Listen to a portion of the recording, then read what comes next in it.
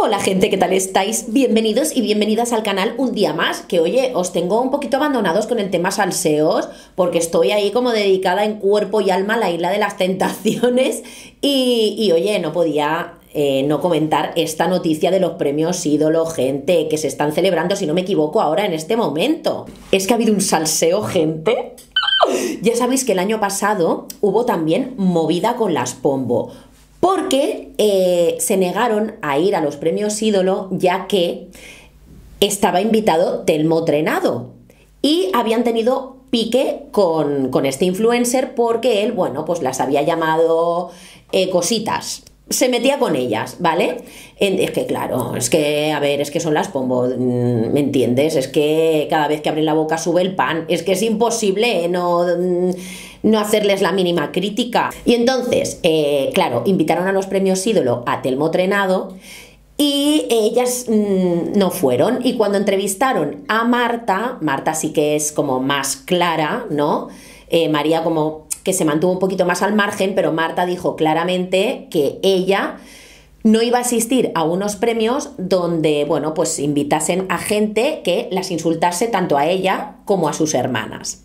A todo esto decir que María Pombo se llevó, creo que el premio ídolo, en la primera edición de los premios ídolos, se llevó como el primero como a la influencer del año. No recuerdo exactamente cuál era la categoría, pero era como el premio ídolo máximo, ¿sabes?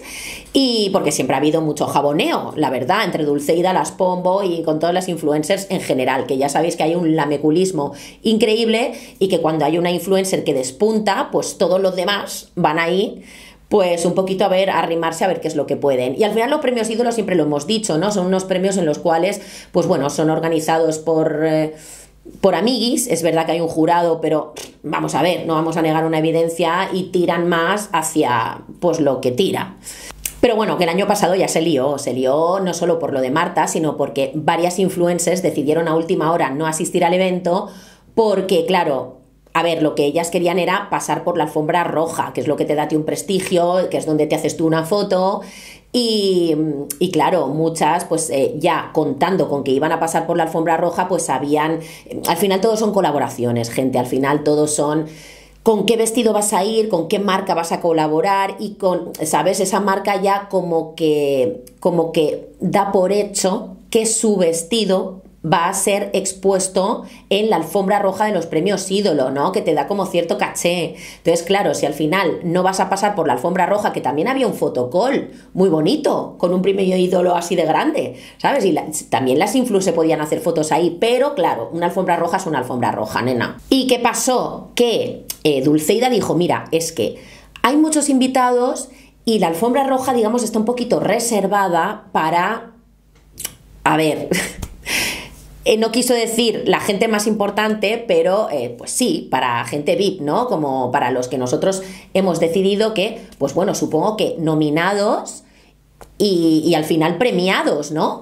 Em, entonces, claro, es como que todos no cabemos ahí, hay un tiempo, ¿vale? Porque al final Dulceida es la, la, que ha ideado estos premios, pero hay organizadores detrás. Entonces habían organizado un tiempo para pasar por la alfombra roja. Claro, no, no, no, no había. Si hubiesen pasado todos los invitados por la alfombra roja, no hubiesen acabado ni pasado mañana, ¿sabes? No se hubiesen entregado los premios nunca, porque estaría todo el mundo todavía a día de hoy, un año más tarde, posando la alfombra roja, ¿sabes? De los premios ídolo del año pasado. Entonces, eh, Dulceida trató de dar esas explicaciones, pero algunas influencers se sintieron ofendidas y dijeron, pues mira, ¿qué quieres que te diga? Pues si yo no paso por la alfombra roja, pues no voy. Entonces hubo ahí como mucha, como mucha polémica el año pasado. Este año no ha sido menos porque eh, es que muy fuerte. Marta Pombo estaba nominada a los premios, espérate, Stay True. Que alguien me explique eso, qué es lo que es. O sea, qué categoría es, porque para mí que se sacan categorías de la manga, ¿sabes? Le queremos dar un premio a esta persona, pero no sabemos em, dónde meterla. Ah, pues Stay True, ¿vale? Y entonces, pues esta era una categoría que estaba patrocinada por Valentine's. Y entre ellas, pues también estaba eh, nominada Samantha Hudson, si no me equivoco, y alguien más que ahora mismo no recuerdo. ¿Qué pasa? Que a todo esto, Marta estaba nominada, pero ni siquiera se manifestó al respecto, ¿sabes? No dijo nada, no agradeció nada, no, hombre, yo qué sé, como mínimo decir, ay, muchas gracias, de verdad, muchas gracias, que estoy nominada a esta categoría, que no sé qué puñetas eh, significa, pero es tan importante para mí, yo que sé, algo, algo, un algo. Pues no, no dijo nada.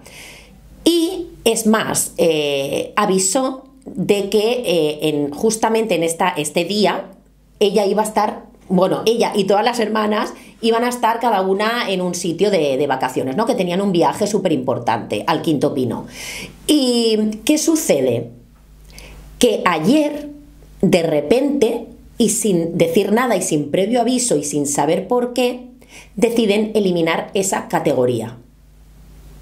Y claro, todo el mundo preguntándose, pero ¿por qué eliminan la categoría? O sea, bueno, pues al final hay una persona nominada y no puede, y no puede asistir a los premios.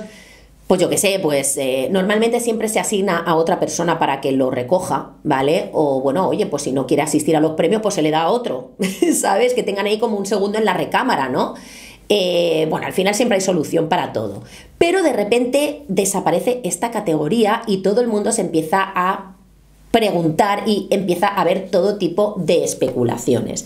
Y es que, por lo que dicen en el programa de todas las salsas, mm, creen, o, se dice, ese cuento se rumorea, ¿vale? Que creen que pueden haber eliminado esta categoría por los polémicos tweets de Samantha Hudson, ¿no? Como diciendo, eliminamos la categoría total, la una no viene, la otra está metida ahora en una polémica que te cagas, no queremos vernos salpicados, vamos a quitar la categoría. Entonces, ¿cuál es la polémica esta de, Samantha Hudson con los, eh, con los tweets? Que ahora veremos que algunos son reales y otros son falsos, ¿vale?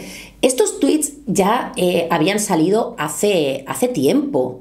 Yo recuerdo ver entrevistas de Samantha Hudson donde se disculpaba por haber hecho esos tweets porque la verdad es que son lamentables, despreciables y yo qué sé.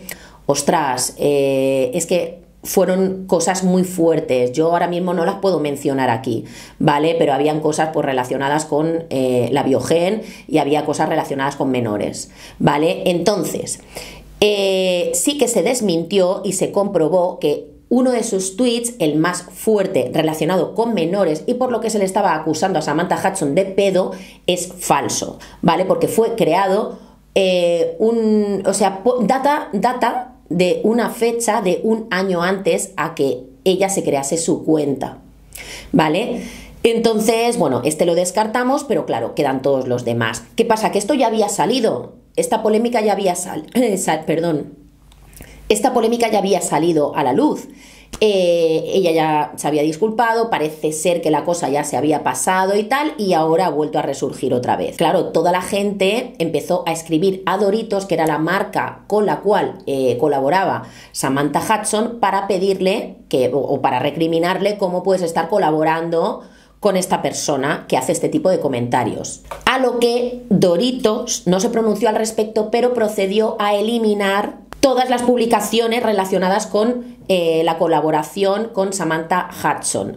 Por su parte, Samantha Hudson emitió un comunicado, ¿vale? Que dice lo siguiente respecto a la polémica.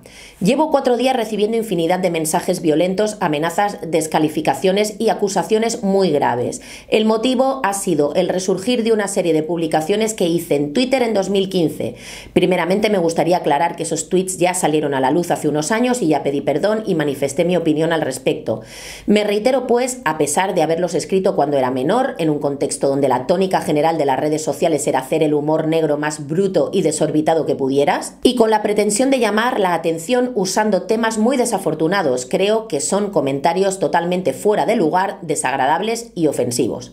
De igual manera, quisiera aclarar que no los escribí de forma seria para expresar mi opinión, sino pretendiendo ironizar con el posicionamiento más extremo y opuesto a la postura ética y moralmente correcta con respecto a esos temas.